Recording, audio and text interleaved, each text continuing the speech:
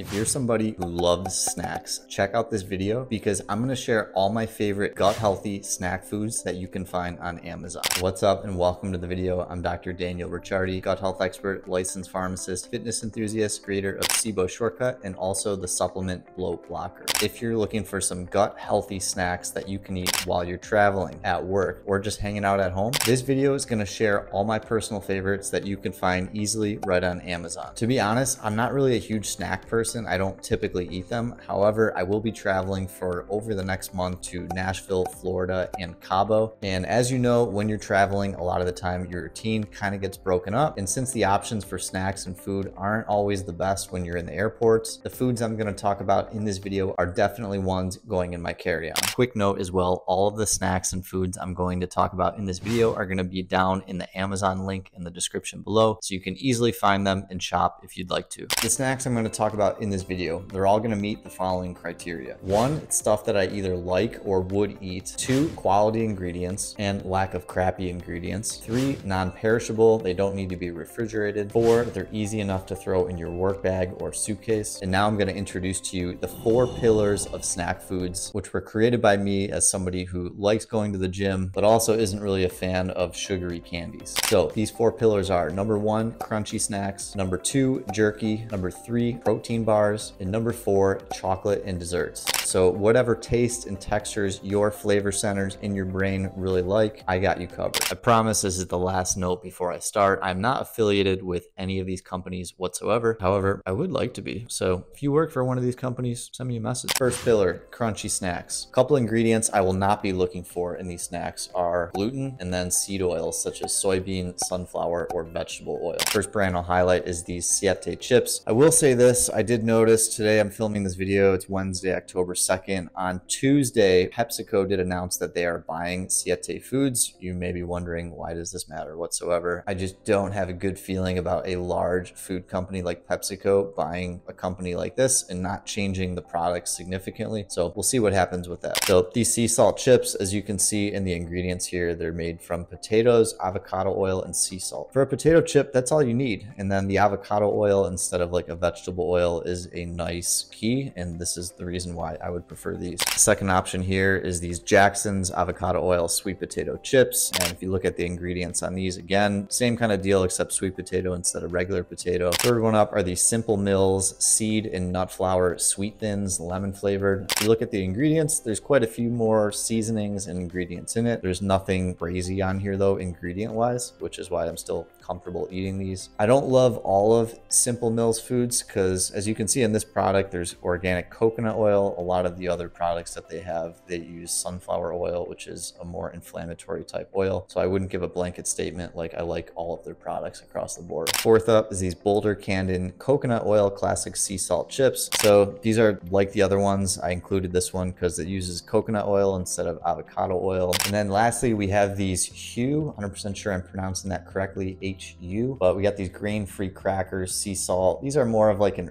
herby type cracker, which if you want something a little more flavorful than just salt, this may be something you can go to. Ingredient list quite a bit longer than the other potato chips, but if you go through it, everything is a quality looking ingredient and there's nothing in here that I would not eat. All right, let's move on now to the jerky section, my personal favorite. To find a good jerky, things I look for are number one, I want it to be gluten-free. You may be asking yourself, it's meat, why the hell would it have gluten in it? A lot of jerkies have soy sauce, which contains gluten, so that's the reason. Also looking for minimal or no added sugar. And finally, no weird flavorings or colorings. Some of the brands now we have here are Chomps. So this original beef product is one I really like. It's just beef, salt, and then some other seasonings in there, nothing else weird. Mission Meats makes these sticks, which I also find to be really high quality ingredients. I haven't personally had these before, but looking at all the products and ingredients, it all looks solid. Looks like they have uh, pork sticks, beef sticks, jalapeno pepper beef sticks, and then uh, turkey sticks as well. I would happily have any of these while traveling. Then I found this Clean Jerky Co. brisket beef jerky. I have not personally had this, but it does look really good. Just beef, pepper, and salt. The price point on these, I'll admit, is much higher than the other ones. So I'm a little hesitant on buying these because it looks like a one ounce bag costs about $15. So more than I want to spend. Uh, fourth jerky is this Brooklyn Biltong. I've had this quite a bit, really like it. There's a bunch of different flavors here. I think the naked one's really good because I'm more of like a simple beef jerky kind of person. I just like a normal salt, but there's also lemon pepper, peri peri chili. I don't really do super well with spicy food. I wish I did because I like the taste. It just feels weird in my stomach after I eat it. Try to avoid it. Then they have a steakhouse and then an original as well. And then lastly, this one's a little bit of a wild card. My friend Ryan, who I work out with, introduced me to these. Sounds really weird, but these epic maple glazed and smoked salmon bites are actually really good. Obviously, if you don't like fish, you're gonna absolutely hate this, but you're somebody that likes fish, they do have a pretty strong fishy smell, but they're absolutely delicious. There is a little bit of added sugar, but in order to diversify the jerky section a little bit for you, I did want to include this one as well, because I've had it quite a few times and really like it. All right, moving right along. Now into pillar number three, which is protein bars. I'll be totally honest with you. This category of foods on Amazon and everywhere in terms of ingredients, this is rough. There's very few options that I really like on here. I going into this video, I tried to find about five options for each of these that I thought were really good options. And I could honestly, for this section, I could only find three. I'm sure if I look a lot more, I could come up with two other ones, but not totally sure. Things I'm looking for in a protein bar are number one, no seed oil such as vegetable oil, soybean oil, or sunflower oil. No natural flavors, and then no gums or thickeners. So first up on the list here, we have these Feel bars. Looks like there's a few different flavors. There's sun butter chocolate chip, brownie chocolate chip, and then mint chocolate chip. If you are a chocolate chip enthusiast, you will be very pleased. It looks like pea protein isolate is the protein in here. So they're vegetarian, vegan protein bars. I'm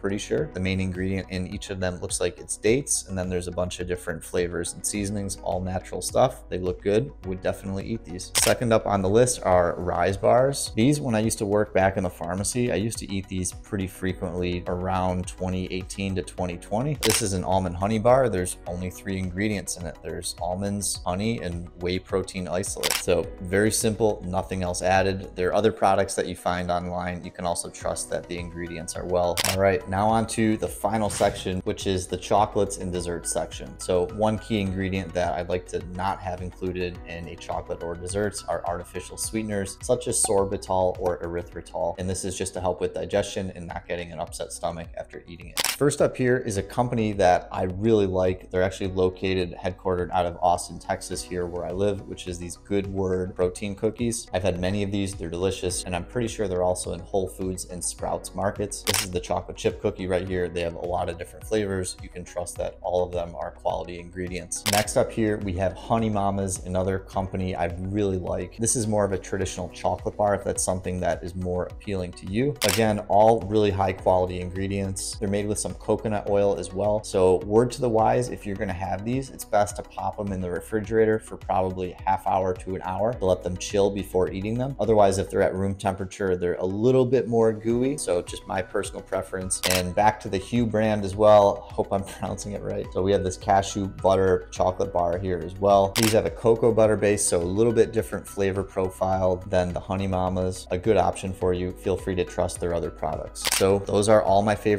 Amazon Find snacks. If you're a big snack person and you want to make sure you're taking care of your digestion and gut health, give these options a try. That is all for today. If you enjoyed the video or found it helpful, please like and subscribe to my channel for more related content. I post a new full full-length video every Monday in YouTube Shorts throughout the week. Thanks so much for watching, and I'll see you in the next video.